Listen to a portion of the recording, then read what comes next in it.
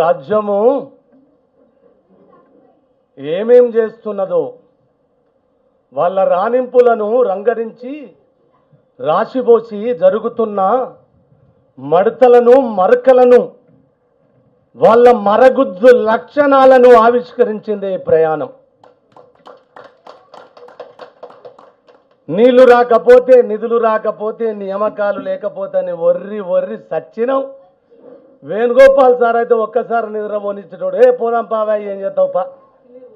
కాళ్ళకు బల్పాలు కట్టుకొని తిరిగితిమి కన్నవాళ్ళను మర్చిపోతిమి తోబుట్టువులను యాది చేయకపోతిమి ఎందరినో బలిపెట్టుకుంటిమి ఇది అమ్మ దీనికోసం ఆ తెలంగాణ వచ్చింది.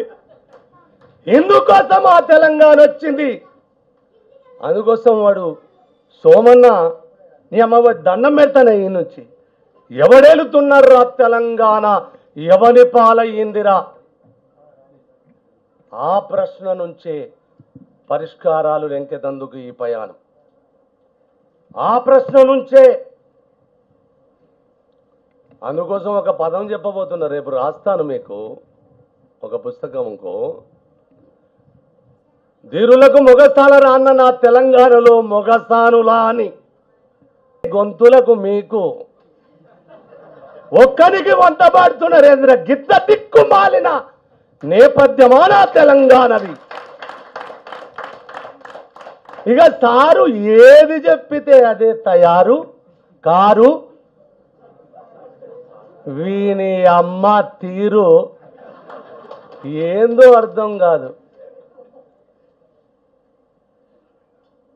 అందుకోసం ఎవడో అంటాడు ఎతరా గంప అంటుంది కొత్త కళ్ళం.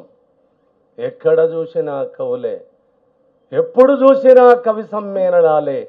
తాలు విత్తనమవుతున్న కాలం వేలానికే నూరెల్లా కాలోన కాసులను చూసి వీలోన విలాసాలు చేసి తాలోన తరించే తరుణం ఓ కవి. నీవు ఇప్పుడు ప్రశ్నార్థకమా ఆచర్యార్థకమా? అరే నైజామోని పైజామూడగొట్టింది. రజాకారు మూకలను దిగద్దాలకు తరిమి కొట్టింది రజరికానికి గోరిగట్టింది తెలంగాణమంటే గడిలకు అగ్గిపెట్టింది రజరికానికి గోరిగట్టింది తెలంగాణమంటే పిడికడు మట్టారా? పిపిలికాది బ్రహ్మ పర్యంతం కంపరం బుట్టించే మందుపాతర కంపరం బుట్టించే మందుపాతర రాతి దుర్గాలనే కూలదన్నిన నా పాదాలకు నాలుగు ఇటుకలతో కట్టుకున్న నీ ప్రహారి ఒక లెక్కనా. మరి మీ అందరికి చిన్న ప్రశ్నేసి ఊకుంటాను. పార్టీల చుట్టూ తిరిగి ప్రాణాలను బలిపెట్టుకున్నాం. సిద్ధాంతాలకు ఈ ప్రపంచాన్ని తగులబెట్టుకున్నాం. మతాలకు మారణవోమాలకు నిత్యము ఆహుతి అవుతూనే ఉన్నాం. ఎవడి మెదడుతో మాట్లాడడము కాదు జర్నీ అంటే నీ మెదడుతోటే మాట్లాడాలి. ఎవడి కాళ్ళతో పయనించడము కాదు జర్నీ అంటే నీ కాళ్ళతోటే నడవాలి.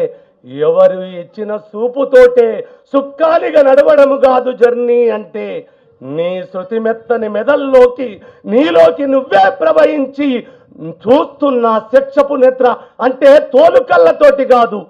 మనిషికి మూడో కన్ను అనేది జ్ఞాననేత్రం. దానితో చూడడం మొదలైతే అన్ని దిక్కులు ఏకకాలంగా కనబడతాయి. ఈ ప్రయాణాలు విప్లవుకు విజయ్కి కాకుండా మనము కూడా అందరం వాళ్ళేసిన బాటలలో పయనించాలి. నిత్యము మన జీవన యాత్రను మనమే ఓపెన్ కాస్ట్ చేసి తొబ్బిపోసుకోవాలి